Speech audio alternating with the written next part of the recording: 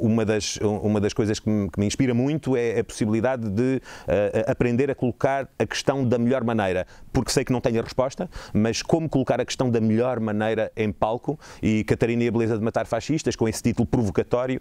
um, é sobretudo uma, uma peça sobre a dúvida, uh, sobre a dúvida do lugar da violência uh, um, no discurso político e na ação política, mas sobretudo sobre a dúvida e, em relação aos, ao modo que a democracia pode encontrar para se defender. O famoso paradoxo da tolerância. Podemos ser Uh, tolerantes em relação aos intolerantes, mas assim talvez condenando a democracia, ou temos obrigatoriamente que ser intolerantes em relação aos intolerantes, mas correndo o risco de não ser democráticos.